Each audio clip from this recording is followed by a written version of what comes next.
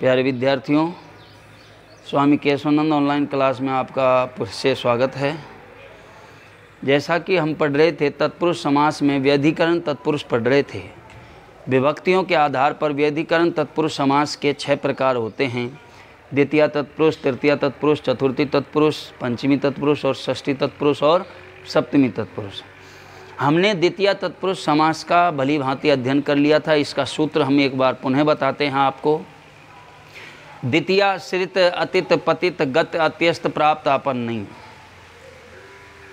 तृतीय तत्पुरुष समास का सूत्र बताते हैं, तृतीय पूर्व सैदृश सम उन अर्थ कलह निपुण मिश्र सलक्षण चतुर्थी तत्पुरुष समास का सूत्र है, चतुर्थी तदर्थ बलि हित सुख रक्षित पंचमी तत्पुरुष समास का सूत्र है, पंचमी भयन और एक दूसरा और लिखवाया था, भय भीत भीत। भय भीत भीति विभीर इति। षष्ठी तत्पुरुष और सप्तमी तत्पुरुष आज हम अध्ययन करेंगे।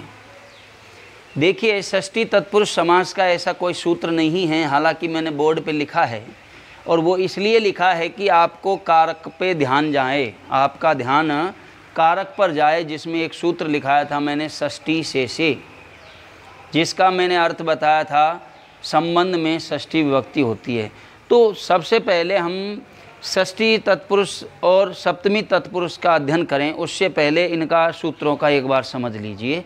द्वितीय तत्पुरुष सूत्र क्या कहता है?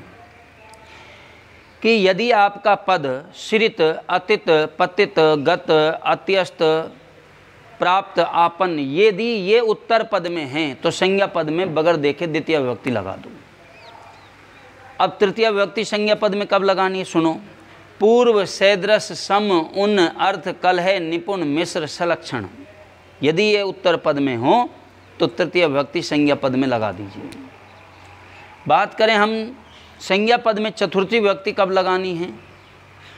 जब अर्थ, बलि, हित, सुख, रक्षित, ये शब्द उत्तर पद में हो तो संज्ञा पद में चतुर्थी विभक्ति लगा दीजिए।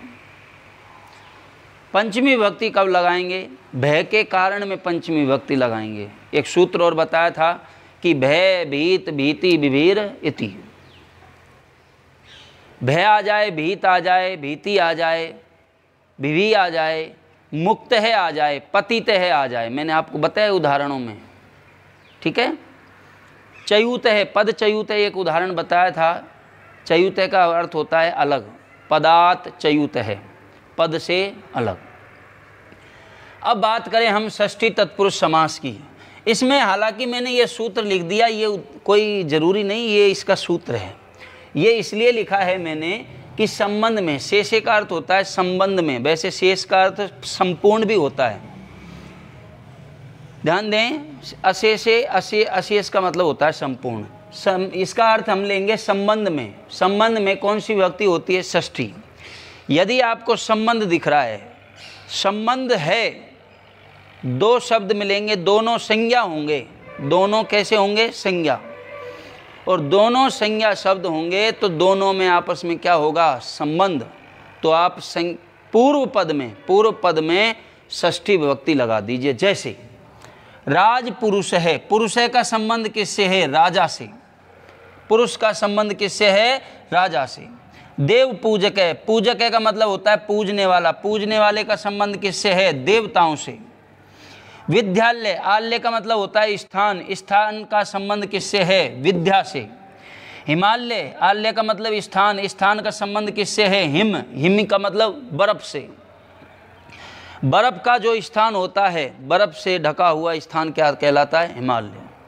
सीता, पति। पति का संबंध किससे है? सीता से। पुत्र का संबंध किससे है? दशरथ से। भक्त भक्त का संबंध किससे है? देश से। पुत्र का संबंध दासी से। और सेवक का संबंध राजा से, ज्ञान का संबंध आत्मा से, विकार का संबंध मन से और संगति का संबंध सज्जनों से। सज्जनों की संगति ही क्या कहलाती है? सत्संगति। पढ़ा है आपने। ठीक है? सज्जनों की संगति सत्संगति कहलाती है। यह तय शायद आधा है। सत्संगति, इस तरह से। ठीक है? अब देखते हैं। राजन, राज राज शब्द नहीं है ये। राजन शब्द है। इसमें षष्ठी भक्ति लगाओ। राज्य है। राज्य है, पुरुष है। उत्तर पद प्रधान करना है। उत्तर पद में कोई परिवर्तन नहीं करना। फिर परिवर्तन नहीं कर दोगे तो तत्पुरुष समास कैसे हो जाएगा? तत्पुरुष समास का उत्तर पद प्रधान होता है। विभक्ति किसमें लगती है? संज्ञा पद में। तो ये राजन शब्द है, इसमें षष्ठी भक्ति लगाई आपने तो राज्य है और ये प्रधान है, पुरुष है। उत्तर पद हो गया प्रधान। देव में लगाइए षष्ठी भक्ति, देवाणाम देवाणाम पूजक है, देवाणाम पूजक है।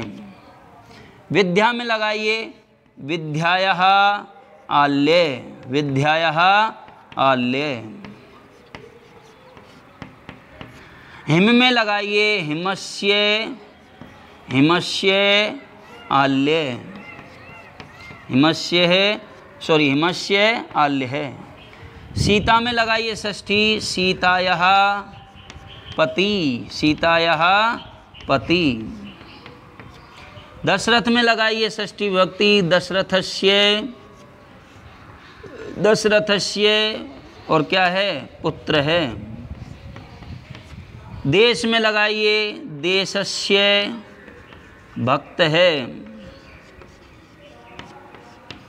दासी में लगाइए षष्ठी भक्ति, दास्य। नदी के चलते हैं, ऐसे रूप चलते हैं। नद्य दासी का बनेगा, दास्य पुत्र है। राज सेवक है, राज राज नहीं है ये, राजन है। राज्य है। षष्ठी भक्ति लगाई हमने राज्य है। सेवक। है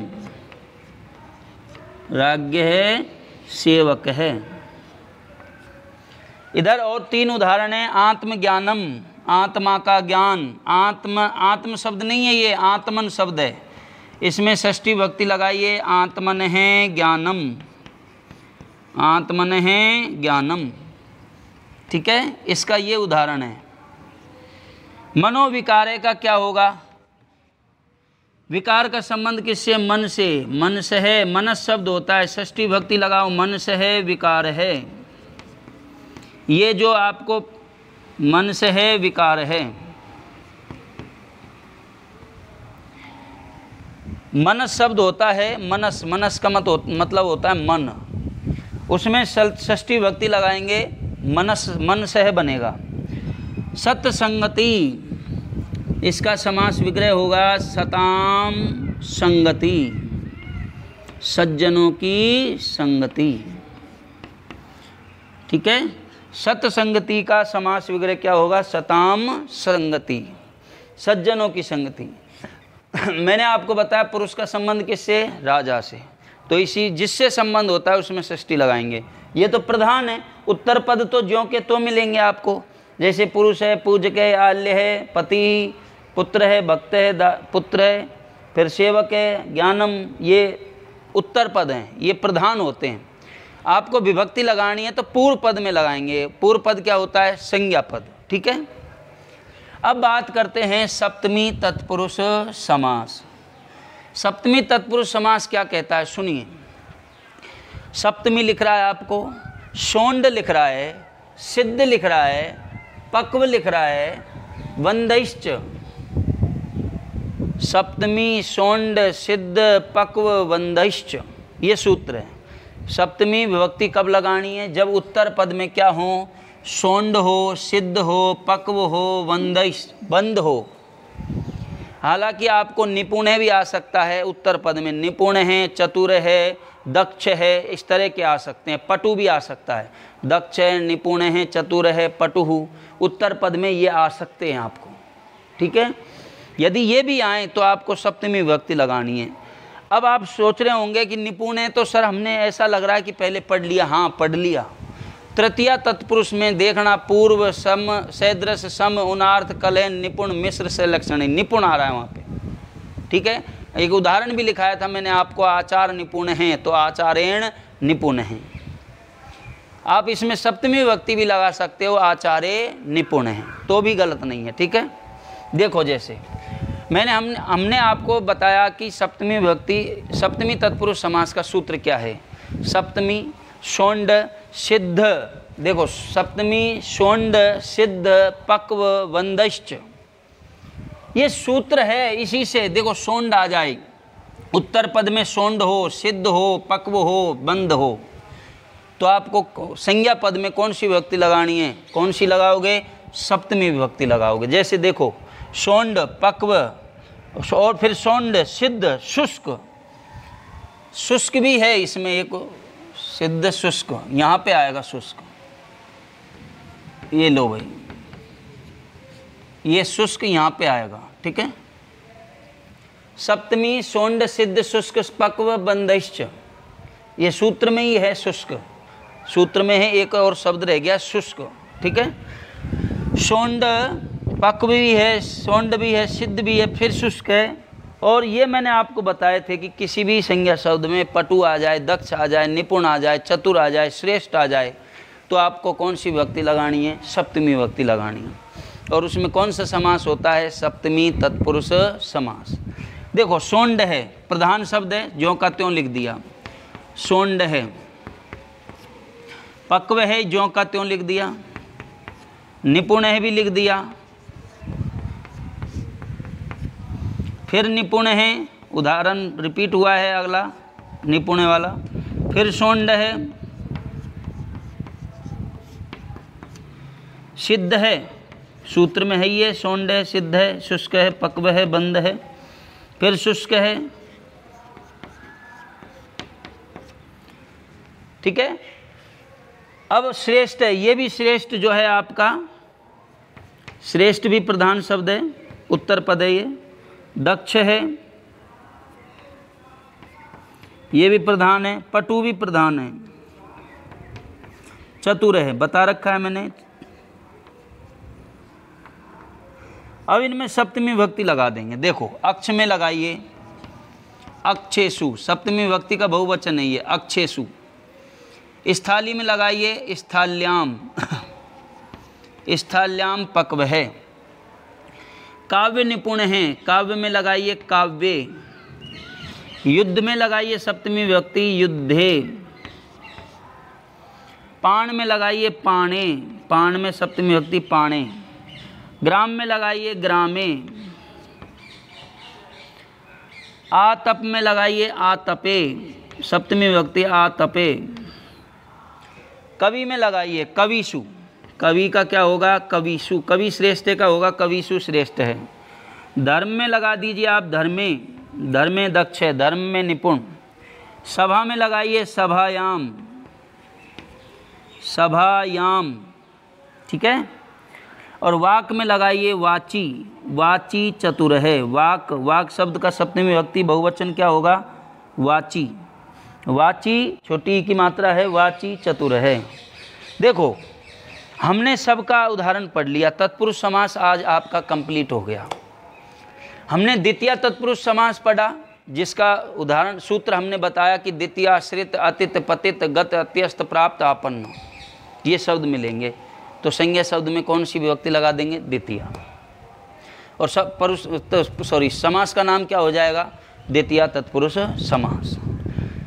तृतीय तत्पुरुष समास का सूत्र है तृतीयास पूर्व सैदृश सम उन अर्थ कलह निपुण मिश्र से लक्षण। ये शब्द आए तो संज्ञा शब्द में कौन सी व्यक्ति? तृतीय। चतुर्थी में मैंने आपको बताया कि तदर्थ बल, तदर्थ बलि हित सुरक्षित। अर्थ मिले, बलि मिले, सुख मिले, हित मिले, रक्षित मिले। तो संज्ञा शब्द में कौन सी व्यक्ति? चतुर्थी। समास का नाम क्या हो जाएगा? चतुर्थी तत्पुरुष समास। पंचमी तत्पुरुष समास में हमने बताया, पंचमी भयन, भय का जो कारण होता है, उसमें पंचमी भक्ति होती है। दूसरा सूत्र भी बताया, भय भीत भीति विभीरीति। भय आ जाए, भीत आ जाए, भीति आ जाए, विभी आ जाए, ठीक है? मुक्त है आ जाए, पतित आ जाए। तो इनमें कौन सी चयुतय भी आ जाए? चयुतय का मतलब होता है अलग। तो ये उदाहरण भी करवाए थे। समास का नाम क्या हो जाएगा? पंचमी विभक्त पंचमी तत्पुरुष समास। षष्ठी तत्पुरुष समास में हमने आपको सूत्र, हालाँकि लिखा है, वो सूत्र नहीं है समझने के लिए। संबंध में षष्ठी विभक्ति होती है। उदाहरण, ढेर सारे पढ़े हमने। पुरुष का संबंध किससे है? राजा से। पूजक का, पूजने वाले का संबंध किससे? है देवताओं से। स्थान का संबंध, विद्या से। स्थान का संबंध, बर्फ़ से। पति का संबंध, सीता से। पुत्र का संबंध, दशरथ से। भक्त का संबंध, देश से। पुत्र का संबंध, दासी से। सेवक का संबंध राजा से ज्ञान का संबंध, आत्मा से विकार का संबंध, मन से और संगति का संबंध सज्जनों से। तो जिससे संबंध होता है, यानी पूर्व पद जो होता है, कहने का मतलब ये समझ जाओ, सीधा। सीधा का सीधा, यानी पूर्व पद जो होता है, यदि आपस में संबंध है तो पूर्व पद में षष्ठी भक्ति लगा देते हैं। सप्तमी सप्तमी तत्पुरुष समास में हमने पढ़ा, सप्तमी सोंड। देखो, सप्तमी सोंड सिद्ध, शुष्क, पक्व बंदश्च शुष्क मैंने बोला है। पहले नहीं बोला था। सप्तमी, सोंड, सिद्ध, शुष्क, पक्व, वंदश्च, ये सूत्र है। यदि आपको उत्तर पद में सोंड, सिद्ध, शुष्क, पक्व बंद ये शब्द मिले तो संज्ञा पद में सप्तमी व्यक्ति लगा देते हैं। एक बात और बताई मैंने आपको, यदि उस उत्तर पद में, उत्तर पद में यदि आपको दक्ष मिल जाए, निपुणे मिल जाए, चतुरे मिल जाए, पटु मिल जाए तो आपको क्या लगाना है? वो संज्ञा पद में सप्तमी विभक्ति लगानी है। दोबारा से समझ लो, सप्तमी तत्पुरुष समास का सूत्र है, सप्तमी सोंडई सिद्ध शुष्क पक्व बंदिश्च यानी सोंड, सिद्ध सिद्ध, शुष्क, पक्व बंद यदि ये शब्द उत्तर पद में हों तो संज्ञा पद में सप्तमी विभक्ति लगा देंगे। और समास का नाम हो जाएगा सप्तमी तत्पुरुष समास। और एक बहुत, एक और बात बताई इसमें कि यदि किसी संज्ञा शब्द में के साथ दक्ष आ जाए, निपुणे आ जाए, पटु आ जाए, चतुरे आ जाए, ठीक है? तो उसमें, उस संज्ञा शब्द में भी, संज्ञा शब्द में भी सप्तमी विभक्ति लगाते हैं। देखिए उदाहरण, सोंड अक्षेशु सोंड है, स्थल्याम पक्व है, काव्य निपुण है, युद्धे निपुण है, पाणे सौंड है, ग्रामे सिद्ध है, आतपे शुष्क है। कवि श्रेष्ठ है। श्रेष्ठ भी बताया था, कवि सुश्रेष्ठ है। धर्म दक्ष है, धर्मे दक्ष है। सभा पटु सभायाम पटु वाक चतुर है, वाची चतुर है। वाची में सप्तमी व्यक्ति एक वचन है, ठीक है? तो विद्यार्थियों, आज आपका तत्पुरुष समास क्लियर हुआ। बाकी पढ़ेंगे अगला समास हम नेक्स्ट वीडियो में। आज के लिए इतना ही। Thank you